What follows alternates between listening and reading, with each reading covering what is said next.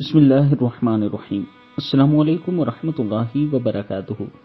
जिन बातों पर हमें अमल करना चाहिए, क्योंकि अल्लाह के रसूल ने हमें हुक्म दिया, लेकिन हम मुसलमान उन पर अमल नहीं करते। उन पर आज गैर मुस्लिम अमल कर रहे हैं। जैसे अल्लाह के रसूल ने हुक्म दिया कि अपने से बड़ों का अदब करें और बुज़ुर्गों की खिदमत करें, यानी उनकी मदद करें। आज आपको यूरोप वगैरह में नज़र आएगा कि लोग दूसरों की मदद कर रहे हैं, लेकिन उम्मत के लोग मदद नहीं कर रहे। उम्मत के लोग एक दूसरे का खून पी रहे हैं। आज जो वीडियो आपके साथ शेयर कर रहे हैं, ज़रा आप इस वीडियो को मुलायजा कीजिए, फिर हम इस पर बात करते हैं। इस वीडियो से हमें सीखना चाहिए कि दूसरों की मदद कैसे करनी चाहिए। अगर अल्लाह ताला ने आपको मौका दिया और अल्लाह ताला ने आपको हिम्मत और तोफीक दी तो फिर ज़रूर दूसरों की मदद करें। इसी में आपकी भलाई है। जब आप दूसरों की मदद करेंगे, फिर अल्लाह की रहमत आप पर नाजिल होगी। अल्लाह ताला हम सबको एक दूसरे की मदद करने की तोफ़ी अता